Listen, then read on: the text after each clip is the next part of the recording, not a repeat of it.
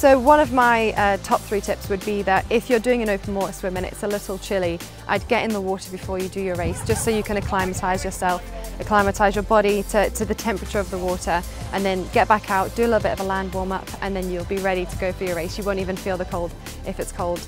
Um, a second tip for me would be um, if you're a little wary of, of a mass start, so if you're worried about getting hit or getting swum over or something like that, stick to the size of the pack or to the back of the pack as well. That's quite an important thing if you're a bit worried about it.